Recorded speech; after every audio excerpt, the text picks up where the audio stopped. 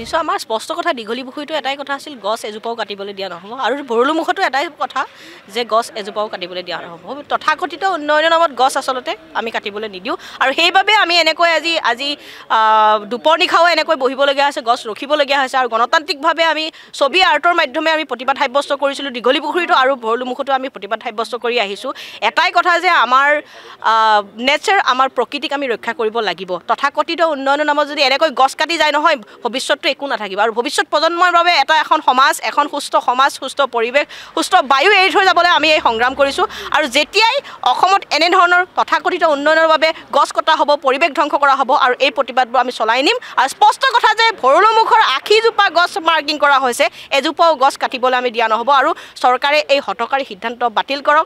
আৰু এটাই কথা তেওঁলোকে যে কৈছে যে গছ ৰিট ট্ৰান্সপ্লাণ্ট কৰিব কেনেকৈ ৰি ট্ৰান্সপ্লাণ্ট কৰিব ৰাইজকো জনাই দিব লাগে কাৰণ আমি আজিলৈকে ৰি ট্ৰান্সপ্লাণ্ট কৰা দেখা নাই কাৰণ চল্লিছ হাজাৰতকৈ অধিক গছ ইতিমধ্যে গোৱালপাৰাত কাটি পেলোৱা হৈছে দক্ষিণ কামৰূপৰ ৰাস্তাত কাটি পেলোৱা হৈছে। যদি ট্ৰান্সপ্লাণ্টৰ ব্যৱস্থা আছিল সেই গছসমূহক কিয় ট্ৰান্সপ্লাণ্ট কৰা নহ'ল কেনেকৈ ট্ৰান্সপ্লাণ্ট কৰে সেইকাৰণে আমাক বুজাই দিব লাগে।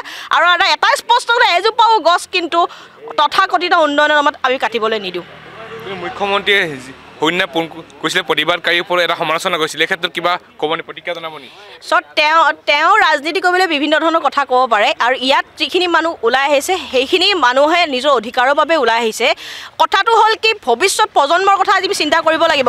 গছ কটা আন্দোলন হয়তো অসমত হোৱা নাছিল এনেকৈ আৰু চিপকো আন্দোলনৰ কথা পঢ়ি পঢ়ি আমি ডাঙৰ হোৱা এটা প্ৰজন্ম।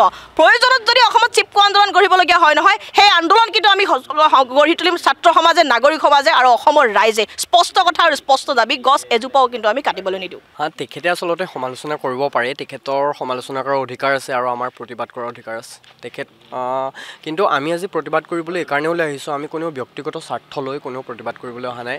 আমি আমাৰ মাতৃভূমিক ৰক্ষা কৰিবলৈ আহিছোঁ আমাৰ প্ৰকৃতিখন ৰক্ষা কৰিবলৈ আহিছোঁ। আজি ইয়াত যিমান মানুহ আছে যিমান ছাত্ৰ সমাজ আছে আমাৰ অৰ্ঘ দাহঁতৰ পৰা আৰম্ভ কৰি মাৰ্চেল দাহঁতৰ পৰা আৰম্ভ কৰি সকলোৱে ইমান কষ্ট কৰিছে। দীঘলী পুখুৰীৰ পৰা আপোনালোকে দেখিছে দীঘলী পুখুৰীটো আপোনালোকে বাতৰি কৰিছে। দীঘলী পুখুৰীৰ পৰা আজি ভৰলুমুখলৈকে আহ, আমি আচলতে দীঘলী পুখুৰী বা ভৰলুমুখ এটা আচলতে আপোনাৰ ইয়াৰ পৰা আমি এটা বাৰ্তা দিব খুজিছোঁ গোটেই সমগ্ৰ অসমৰ ৰাইজক। অকল আজি আপোনাৰ দীঘলী পুখুৰীতে গছ কটাৰ সিদ্ধান্ত হোৱা নাই বা ভৰলুমুখতে গছ কটাৰ সিদ্ধান্ত হোৱা নাই। ইয়াৰ আগতেও আচলতে অসমৰ বিভিন্ন প্ৰান্তত উন্নয়নৰ নামত গছ কাটি গছ বন কাটি ধ্বংস কৰি দিছে তহিলং কৰি দিছে।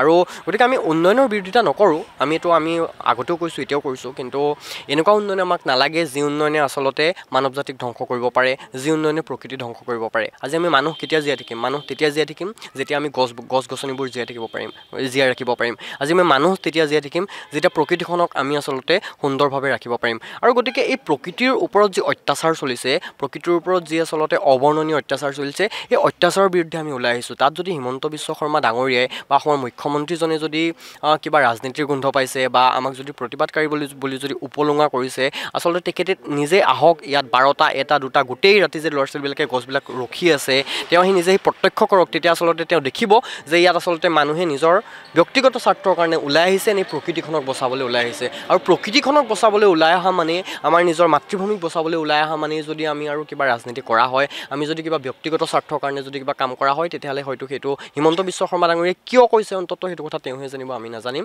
আমাৰ স্পষ্ট কথা যে আমি গছ বচাব লাগে আমি প্ৰকৃতিক বচাব লাগে আমি দীঘলী পুখুৰী বচাব লাগে আমি ভৰলুমুখ বচাব লাগে সমগ্ৰ অসমৰ প্ৰকৃতি ধ্বংসযজ্ঞ আমি ৰোধ কৰিব লাগে। এই প্ৰতিবাদ কেতিয়ালৈ চলি থাকিব।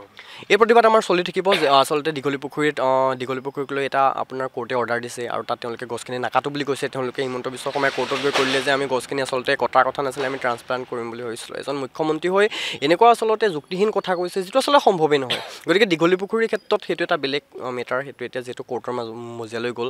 গতিকে কিন্তু ভৰলুমুখত সেই প্ৰতিবাদ তেতিয়ালৈকে চলি থাকিব যেতিয়ালৈকে আচলতে চৰকাৰে আমাক অফিচিয়েল ষ্টেটমেণ্ট দিব নোৱাৰে যে আচলতে কেৱল ভৰলুমুখত আচলতে ইয়াত যি ঊনসত্তৰজোপা গছ মাৰ্কিং কৰিছে। এই গছসমূহ আচলতে নাকাটে বুলি যেতিয়ালৈকে আছে আচলতে আমি নিশ্চিত নহওঁ তেতিয়ালৈকে আমাৰ এই প্ৰতিবাদ চলি থাকিব। আজি দিনৰ ভাগত দেখিছিলোঁ যিসকল বৃদ্ধা আছে তেওঁলোকেও ওলাই আহিছিলে। যিসকল সমাজ সচেতন তেওঁলোকেও ওলাই আহিছিলে। আজি আপোনালোকে দীঘলী পুখুৰী ডিপ্ৰেছত আকৌ যুৱ ছাত্ৰ সমাজ ওলাই আহিছে। এই গোটেই প্ৰক্ৰিয়াটো কেনেদৰে চলিছে বা কোনোবা নেতৃত্ব লৈছে নেকি এই ক্ষেত্ৰত বহন কৰি? নাই নাই ইয়াত নেতৃত্ব বুলি কোনো নাই। ইয়াত আমাৰ সচেতন নাগৰিকসকল ওলাই আহিছে ইয়াত আমাৰ ছাত্ৰ সমাজ ওলাই আহিছে ইয়াত বিভিন্ন বিশ্ব মহাবিদ্যালয় বিশ্ববিদ্যালয়ৰ ছাত্ৰ সমাজ আছে ইয়াত আমাৰ সচেতন নাগৰিক আছে। আৰু গতিকে ছাত্ৰ সমাজ আৰু এই সচেতন ৰাইজৰ উদ্যোগত আচলতে প্ৰতিবাদটো হৈ আছে। কোনো বিশেষ মানুহ বা কোনোবা বিশেষ দল সংগঠন বা কাৰো নেতৃত্ব নেতৃত্বত আচলতে প্ৰতিবাদ হোৱা নাই। ইয়াত মানুহ স্বতঃস্ফূৰ্তভাৱে ওলাই আহিছে আৰু সকলোৱে নিজেই বিচাৰিছে। আজি ইয়াত যেতিয়া আপুনি দেখিব এই গছবোৰ যেতিয়া কাটি দিব এই গোটেই ভৰলুমুখখনৰ কি অৱস্থা হ'ব? গতিকে মানুহে সেই বস্তুটো ফিল কৰিছে মানুহে বুজিব পাৰিছে আৰু সেইকাৰণে মানুহ স্বতঃস্ফূৰ্তভাৱে ওলাই আহিছে। আমি কাকো মাতি আনিবলগীয়া হোৱা নাই যে আহক আমি আপোনালোকে প্ৰতিবাদ কৰক। গতিকে মুখ্যমন্ত্ৰীজনে কি কথা কৈ থাকে সেইটো আমাৰ মেটাৰ নকৰে। আমি আমাৰ কাম কৰি যাম তেখেতে তেখেতৰ কাম কৰি যাওক। নাই চিত্ৰ অংকন আপোনাৰ মই আগতেও বহুবাৰ কৰিছোঁ। এই সামাজিক কামক লৈ পেলাই বা প্ৰকৃতিক লৈ হ'লেও ৰিচেণ্টলি গিবনৰ কাম কৰিছিলোঁ। তাৰপিছত ভৰলুলৈ আহিলোঁ। আমাৰ অৰ্ঘয়ত আছে। তেওঁলোকেই মাতিছিলে তাত কৰিবৰ কাৰণে তাৰ নাগৰিক সমাজে মাতিছিলে। তাৰপিছত এতিয়া ভৰলুলৈ আহিলোঁ। মই তেতিয়াই সকীয়াই দিছোঁ গিবনৰ কাম কৰি থাকোঁতে যে প্ৰকৃতিক লৈ কোনো কম্প্ৰমাইজ নহ'ব। বাকী সিহঁতে যি কৰে কৰি থাকক। কিন্তু আমাৰ প্ৰকৃতিক ধ্বংস কৰিব নোৱাৰিব মানে। তাৰ কাৰণে সদায় ওলাই আহিম। আৰু মই তেতিয়াৰ পৰা কৈ আছোঁ সদায় থাকিম মানে। মোৰ ক'ব লগা ইমানেই বাকী যি কৰোঁ সেইটো মোৰ ছবিৰ মাধ্যমেৰে মই কৰিম মই বেছি কথা নকওঁ। মই অলপ কেমেৰা চাই হয় তো মই বেছি কথা চথা নকওঁ মই ছবিৰ মাধ্যমেৰে যিমান পাৰোঁ মই চেষ্টা কৰিম মানুহক মই সজাগ কৰিবলৈ চেষ্টা কৰিম এই বিষয়ক লৈ পেলাই। গতিকে মোৰ ক'ব লগা ইমানেই। যিহেতু প্ৰকৃতিক আমি সকলোৱে ভাল পাওঁ আৰু আমি প্ৰকৃতিৰ এটা অংশ হয় নহয় জানো? আৰু আমি সেই বস্তুটো লাহেকৈ পাহৰিব ধৰিছোঁ।